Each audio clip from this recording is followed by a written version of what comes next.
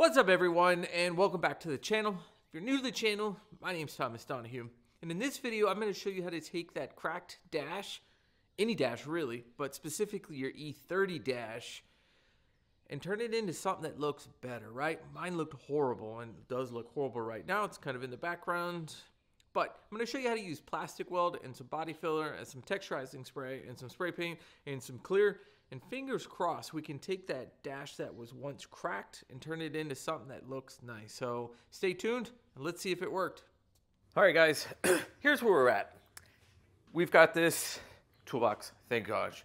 It now gives me a space to work. I'm gonna put a towel over the toolbox because there's gonna be a lot of dust. I don't want a bunch of dust. But what I wanna do is I'd like to get as much of this done this weekend. So today's Friday. I don't know exactly what the date is, but really this is the goal keep working, keep sanding, work on these ridges. I'm going to experiment, and it's right down there somewhere, is with plastic weld or plasti weld. I'm probably gonna try it maybe in one of these big cavities or something like that. If it works, great. If not, we'll move on to the next thing.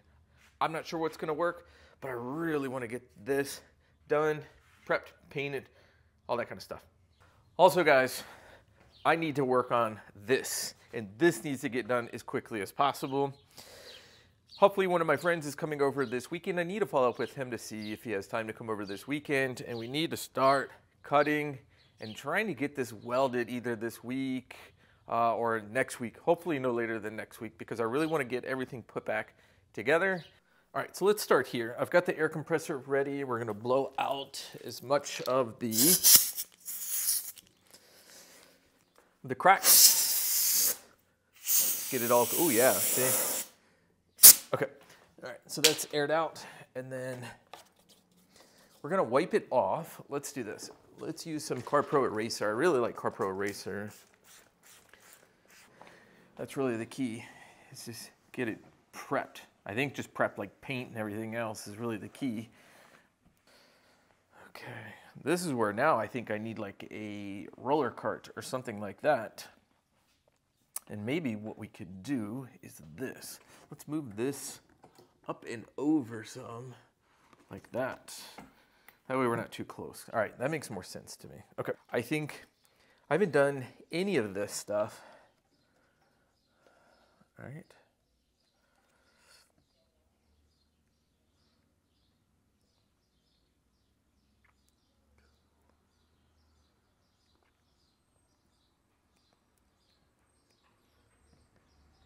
Wow, this is fascinating. I'm not sure it's going to actually go in. Let's see. Because it's got to have something. Okay, there we go. Wow. Yeah, see, it almost turns into like a cement, and then of course it's going to harden. And I think that could be a possible solution to these cracks. Just what to do. So here I'm just putting it in sideways, applying some light to medium pressure and just really up, getting that heat in there and trying to smush and spread it as much as possible. It's almost like a like a batter or like a frosting. Think of it as like frosting. You're trying to like frost a cake. It's kind of like the consistency right now. So what I'm curious is, as this cools, is this going to prove a real repair, right? Because we need it to get in and harden. Because if we can't get it in and harden and stick, right? Then the repair's not gonna hold. All right, let's see if we can do it this way and see if I don't screw up the, the focus. There's still a line right there. And we might even just use a little bit of body filler on that top of that line. And that little bit of body filler will help hide the line. But I think the plastic is, I, I don't know, I, I could be talking right out my rear end for all I know. But I feel like the plastic's gonna give us more permanent repair and one that kind of flexes and works with us. All right. I feel like you start to kind of learn the technique here. I'm just kind of melting and kind of dragging. I also would like to, if at all possible, smooth a lot of this out with the iron.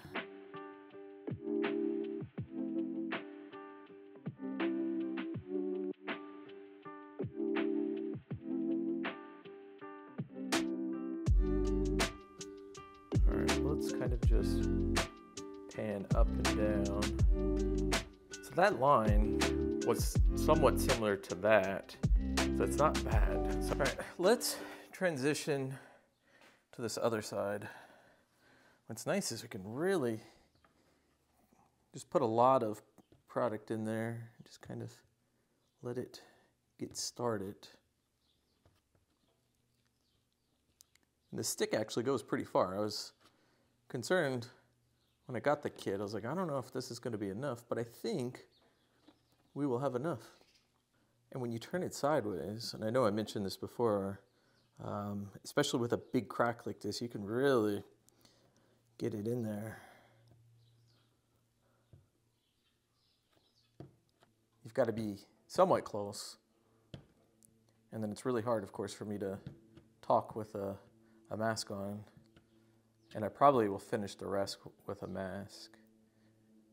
But I'm not, it's really not getting in my face and it's ventilated, which is good.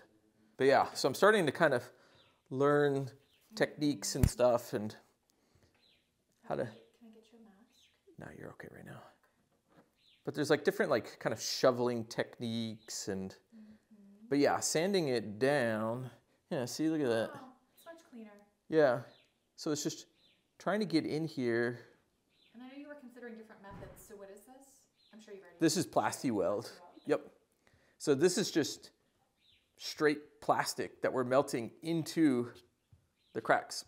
Some spots, maybe what we'll do is we'll use some body filler, like not Bondo. I've got like better product than Bondo from the body shop, but mm-hmm. using just different products. And then you're gonna spray paint the whole dash. Yeah, but before we spray paint it, we're gonna put a texturizing spray on it. I see. Okay. Because if I paint it over this after we sanded it, I mean, it would be obvious. Now, this isn't bad if you go to flock the dash. If you're gonna flock the dash, doesn't matter, the texturizing piece. Would you even have to fill it if you're gonna do that? Yes, You would. Okay. yeah, because it's still gonna move and stuff like that. Okay.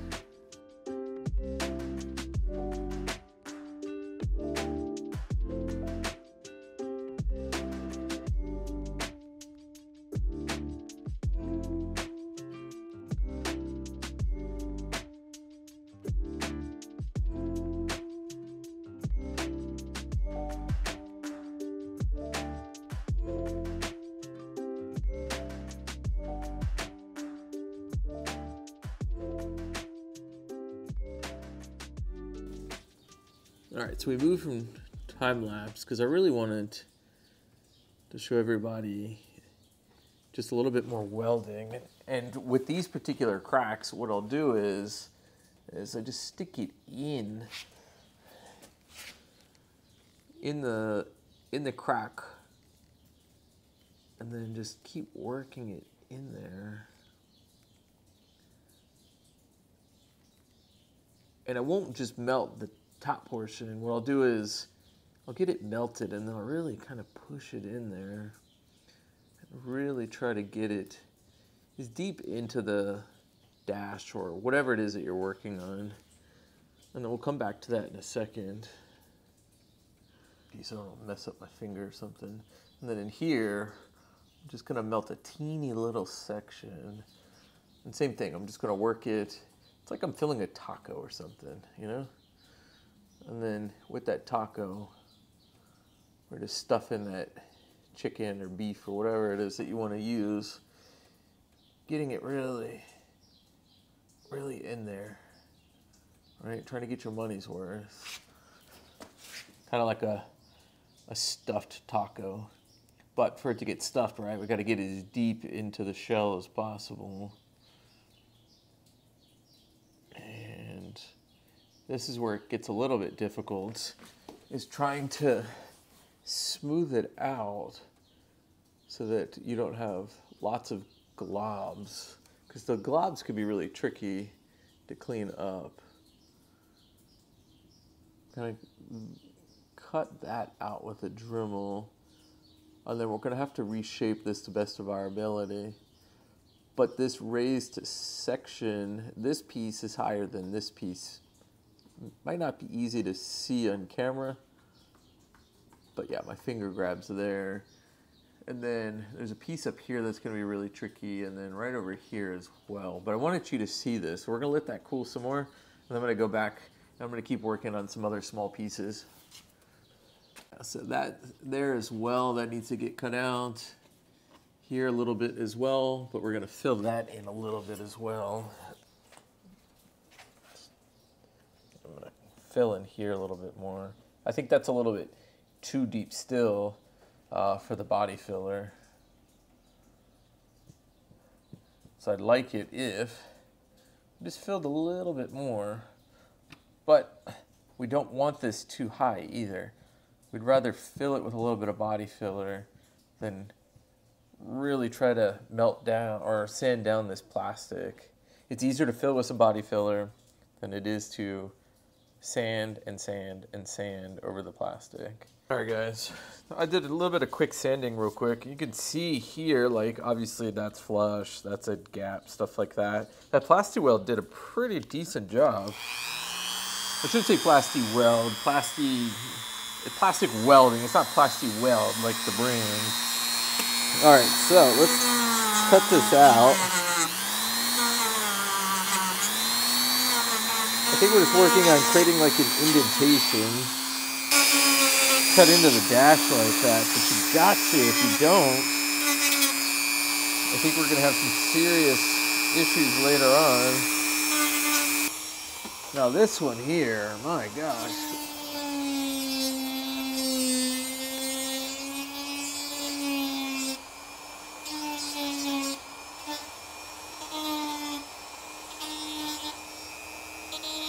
There's just cracks everywhere. You don't realize how bad it is until you take your dash off and you're just like, jeez. I didn't realize it was that bad. But yeah, see how we're kind of creating a ridge. I think the ridge is going to be really important. Don't know 100% what I'm doing.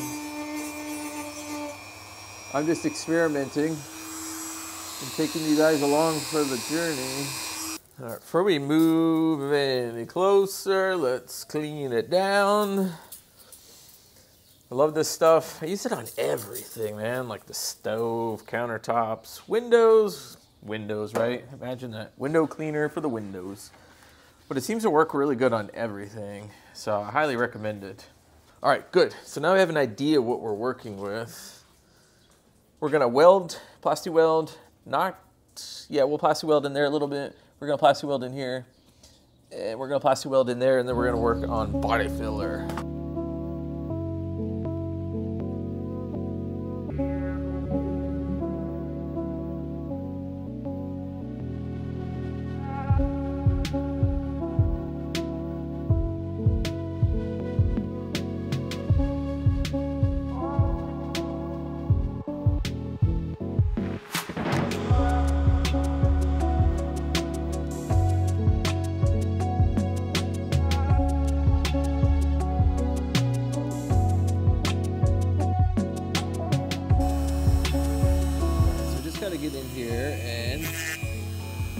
Touch up any of the plastic, right? So anything like that's going to be an issue with sanding or get in the way of uh, the whole body filler process needs to be sanded down.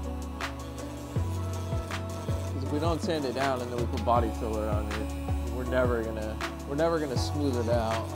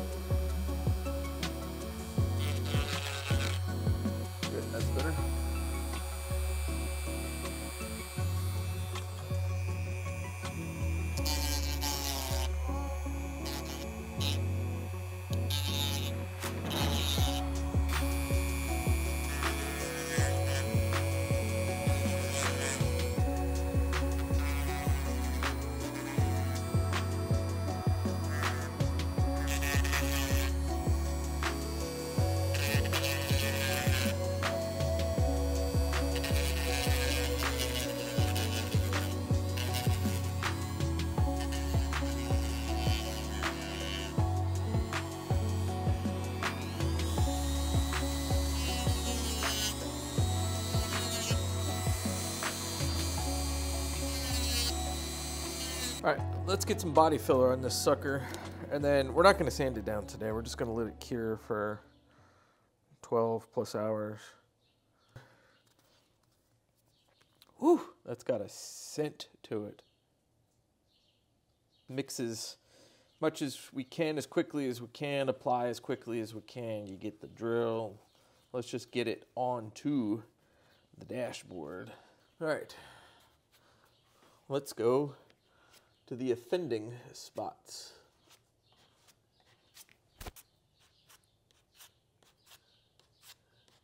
This might take a few coats on my part.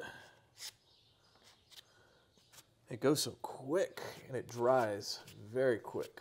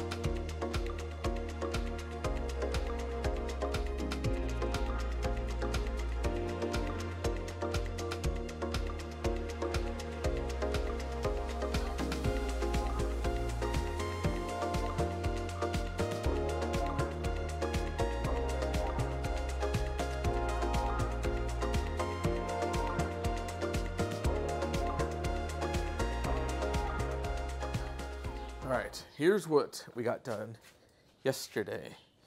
Everything looks pretty clean.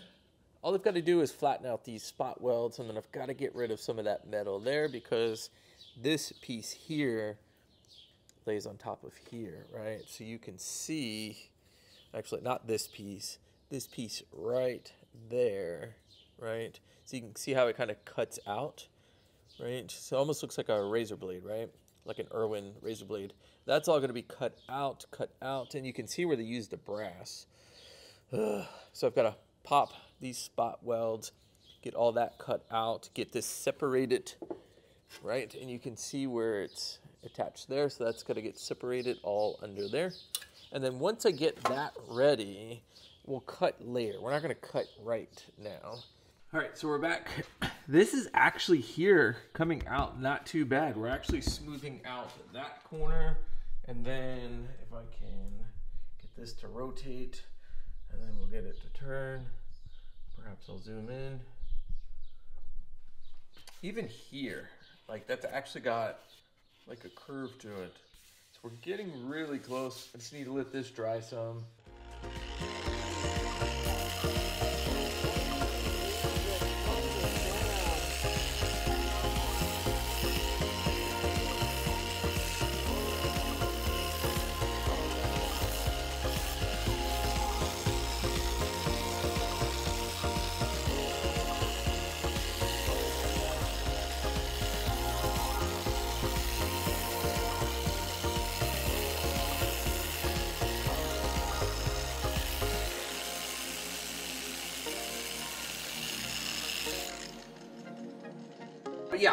You saw it right. I'm definitely using a polisher.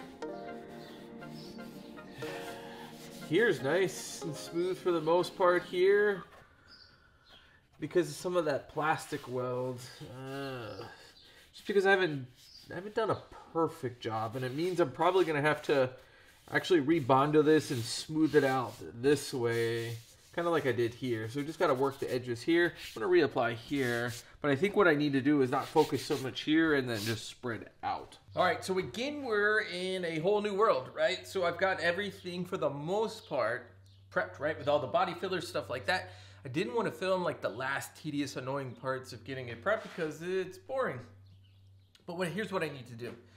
This is going to get a an adhesion promoter now on top of the Bondo or the body filler, I probably need to apply some primer, right? To kind of smooth things out. So I may apply a thin layer of primer, just kind of everywhere. But the big thing is, the big thing that I want to know is, is this going to work? Specifically, what I've done thus far, does it give me enough of a result to move forward? If not, then I need to go backwards. If it's good or at a good spot, then I can move forward. It's been warming up. All right, good, still works. And let's just, let's just coat, coat away. I would probably say wear a mask. Even though there's good ventilation, I can still smell it. But I did pick up some Dupli-Color. I actually have SEM brand, but I'm actually curious just to use this as a primer of sorts, kind of like that base coat. So let's just see. I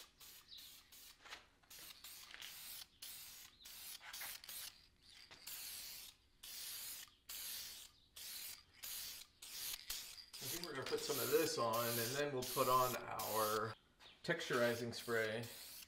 We'll see how that texturizing spray works.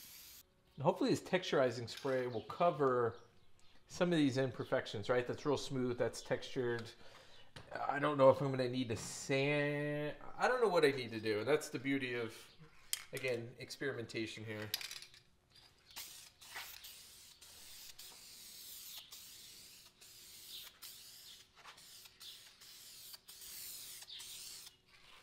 There I've worked that line and worked that line so much and I just I can't get it perfect.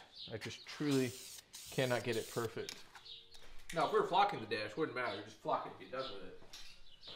This here is probably three feet, which means there's about almost a foot and a half or so to the dashboards. We're gonna go a little bit higher. We're just gonna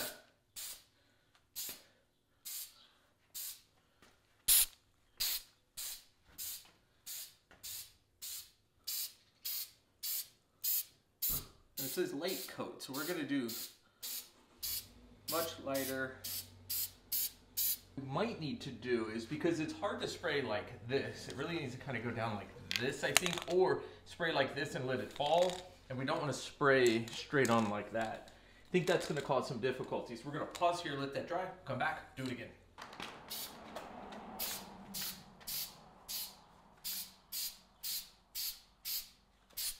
I'm just kind of going like that. Just letting it fall down the best that I can.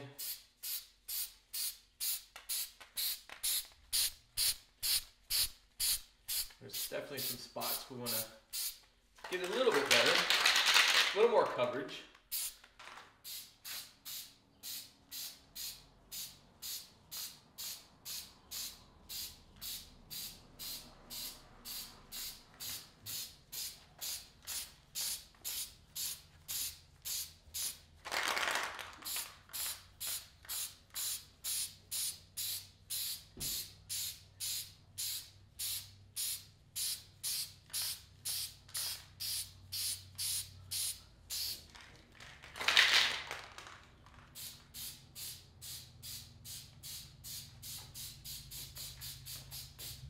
back in a minute and we'll spray a little bit more.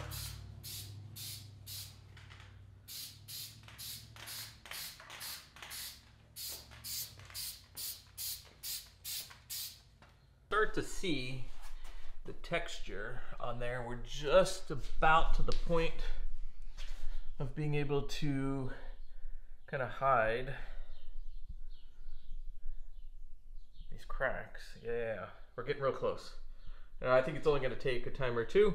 There's some spots in here, like I'm purposely leaving because I want people to know that this was an imperfect dash from the beginning.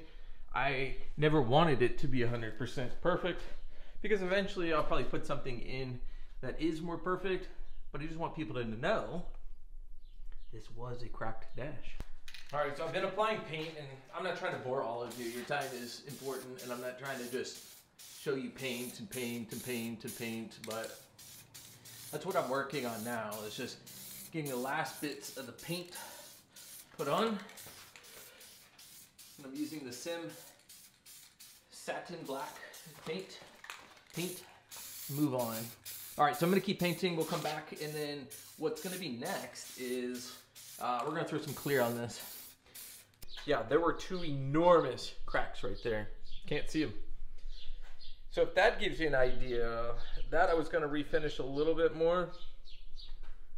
But even then, that's not bad. Not bad in the least. And there were some cracks here.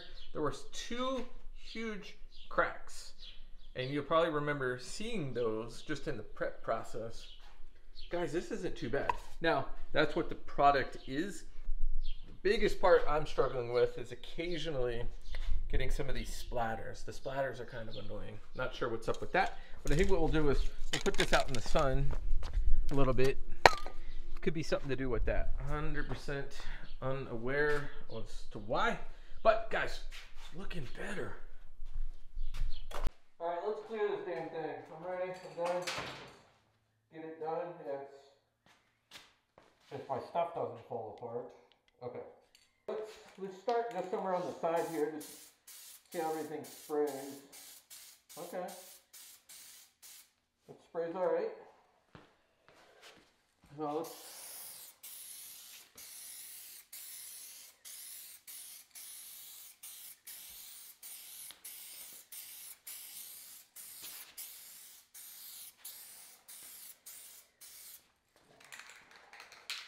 I have two cans of clear, so we should have enough product. Let's come back up here. Now this is the same product that I used on the door card, or the, like the arm pulls on my M3. So I know for a fact it's not too hard in terms of like too rigid. It should flex and it doesn't have too much sheen. Because right on the dash we can't have too much sheen. That wouldn't make any sense. We end up blinding ourselves.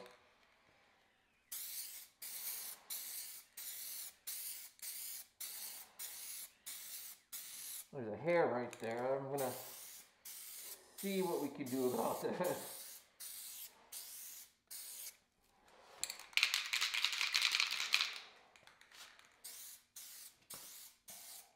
But everyone's got a hair on their dash.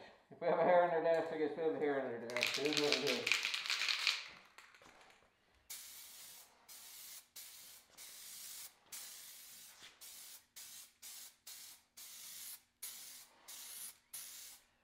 The big thing here is we're going to have to make sure we get good coverage, that there's equal coverage of clear on everything, and that we don't run into issues of something not having clear on it and being exposed texture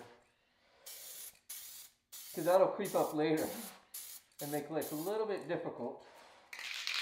Just a little bit.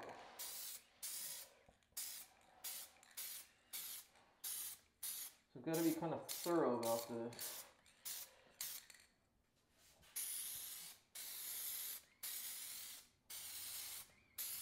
And then we'll let this sit like 10, 15 minutes, something like that. I'm gonna try to get some tweezers or something for that. Man. That's tricky.